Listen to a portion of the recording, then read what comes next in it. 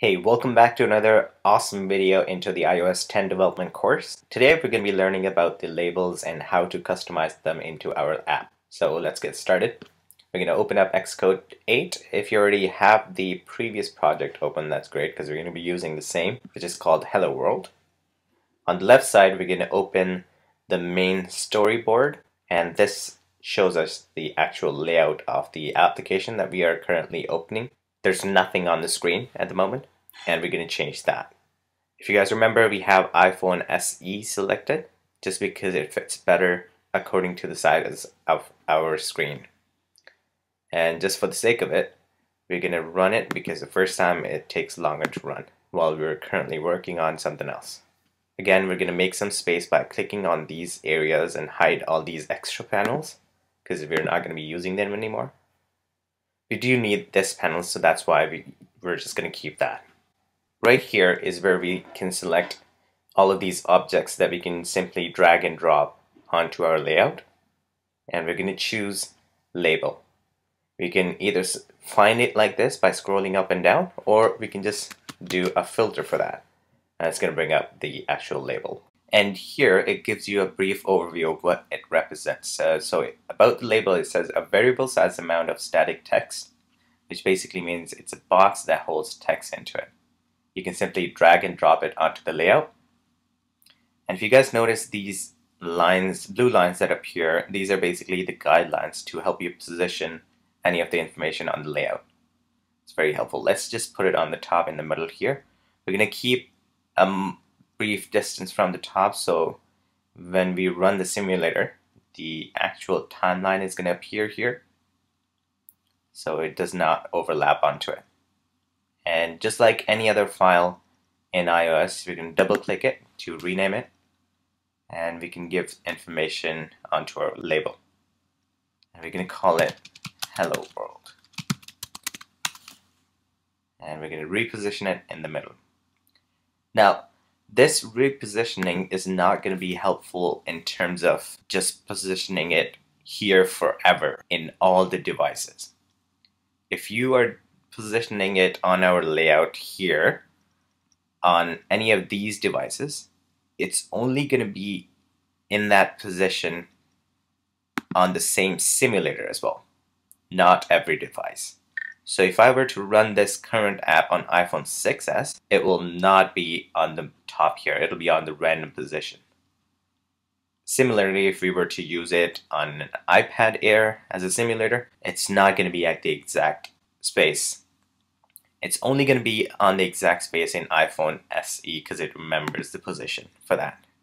For the different devices, we're going to have to be doing something called constraints for all these um, labels and stuff that we have on layout, which we will get into later on in the course.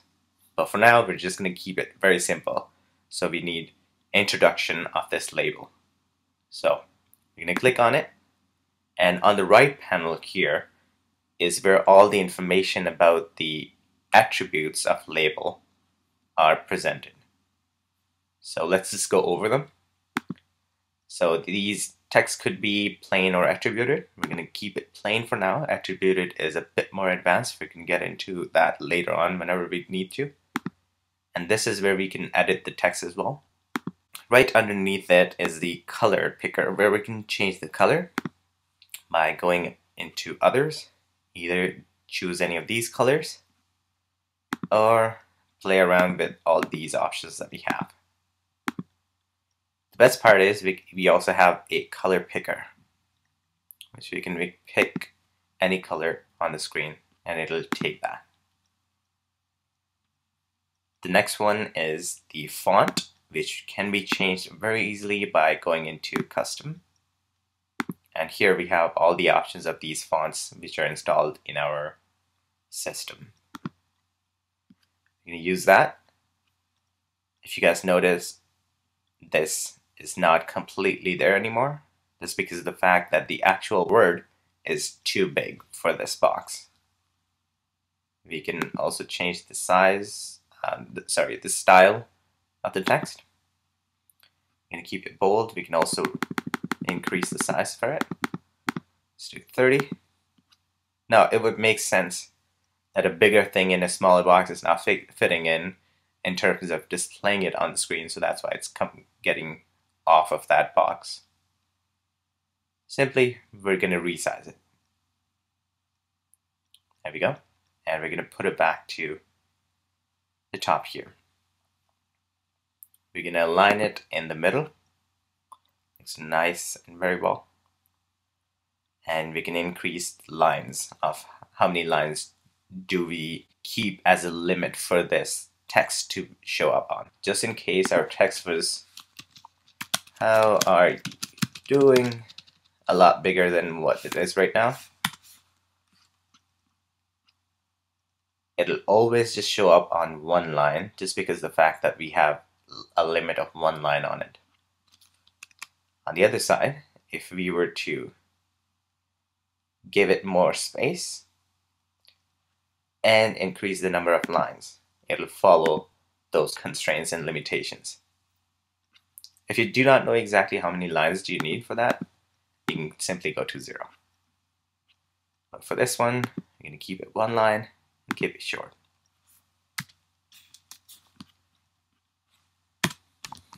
There we have it. I'm going to put it back on top, in the middle. There we go. We're going to go over all these basic functions, which are which might be a bit more advanced for this particular video, and get into a highlight and give it a highlight color. We can drop shadow onto it as well. Mm, I guess black looks better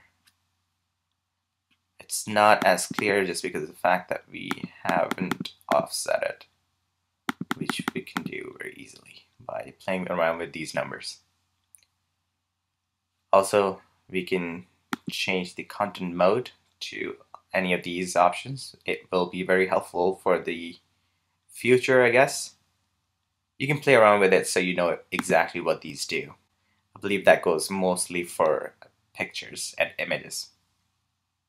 So let's move on. And the alpha is basically how much of this actual uh, label you want to show on the layout in the app. So it's going to basically decrease the opacity.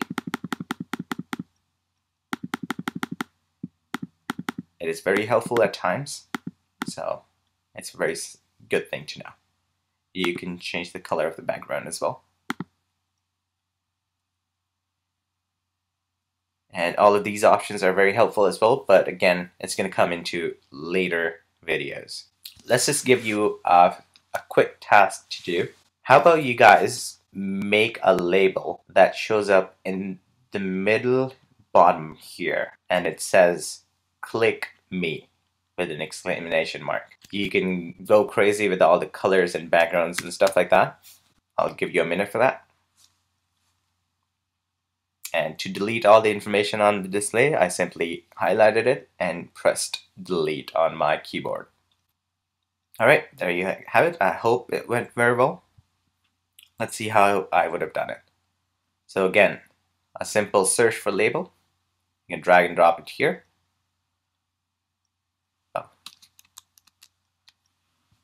Sorry, I had actually deleted the entire view controller as well by mistake.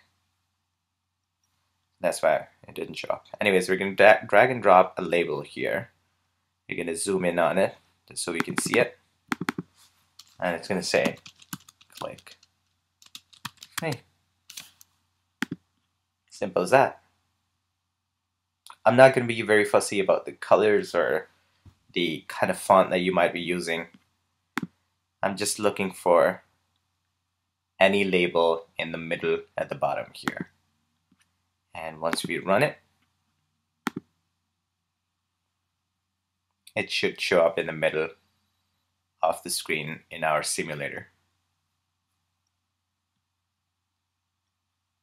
There we have it. Okie dokie. I hope this video was very helpful for you guys and I hope you understand what labels are and what you can do in terms of customizing it. And in the next video, we're going to be learning about the constraints and how we can actually give limitations to their position in all the devices. All right, and I'll see you guys in the next one.